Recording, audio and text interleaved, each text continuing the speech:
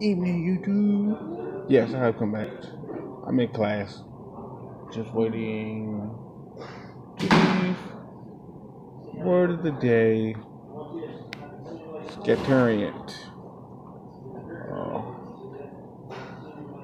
definition is gushing forth, overflowing, effusive.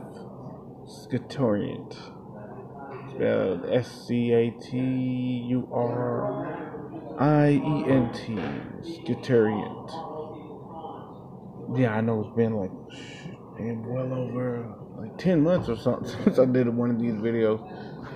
That's just I just been real busy with school. So until then, I'll leave you guys to, with the next word. This is Squippadilly. I'm out, people.